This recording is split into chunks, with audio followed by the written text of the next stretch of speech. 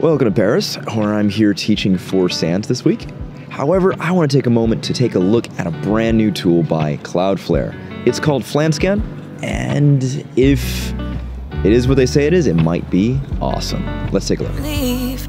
We're telling secrets in the dark while drinking whiskey neat.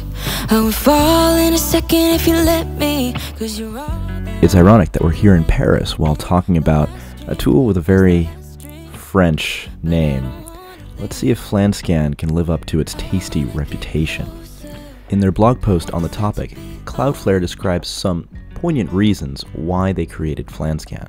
Specifically, they say that they created it after a couple unsuccessful attempts using industry standard scanners for their compliance reasons. This is certainly a circumstance that we find ourselves experiencing all of the time, we don't really have much in the way of options when it comes to alternative scanners. So I'm very excited to see if FlanScan has the ability to match up to the competition. Let's take a look.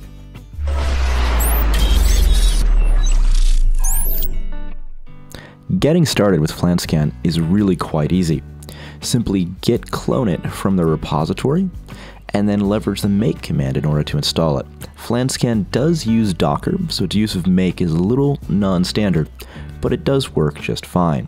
After a quick make build, you can make start to run the application. If running FlanScan on Kali Linux, you'll need to install Docker first. This can be done through its standard repository, leveraging apt install docker.io.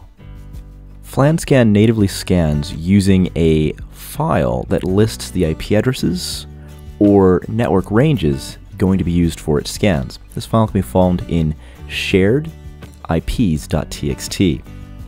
After editing this file to match the systems you intend to scan, you can run FlanScan using make start.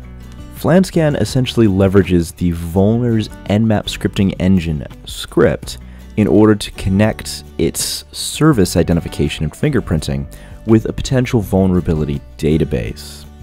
There are some downsides to this approach. For instance, in our testing, we found that FlanScan and the Vollner script, to be fair, were particularly inept at identifying versions of services and discovering vulnerabilities against those services by version. For example, here we have a Windows Server 2003 device. This device has never been patched and is vulnerable to certain vulnerabilities that came out in 1999. The vulner script fails to identify the services and therefore correlate vulnerabilities against them. When we modify FlanScan to include significant additional Nmap capabilities to include Nmap's vulnerability scan modules, we see that Nmaps is able to identify many of the vulnerabilities here, however Vulners fails to do so. This becomes exceptionally important when we start to look into the reporting features of FlanScan. FlanScan essentially takes Nmap XML formatted output and converts it into LaTeX. LaTeX can then be pushed into a LaTeX compiler to make it into a PDF-esque style format. Here we're using one that's online.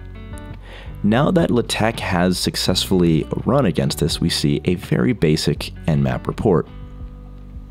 Unfortunately, what we noticed as a differential between the scan that was first performed against a web server and our scan against this Server 2003 device is that FlanScan has no support for Nmap XML outside of Vulners output. As a result, its reporting is exceptionally limited, and even then, quite incapable. In summation, FlanScan is a brand new tool. It's open source, and that's fantastic. Cloudflare developed this tool for some very obvious reasons. But if we dig into the source code, what we find is that there's very little substance to this. A couple Python uh, scripts, and while that's wonderful and it's outstanding to see more open source tool development, it's unfortunate and, to be fair, a little bit unrealistic to consider this tool a scanner. It leverages Nmap and it is able to convert a single Nmap script scan's output into a reporting format.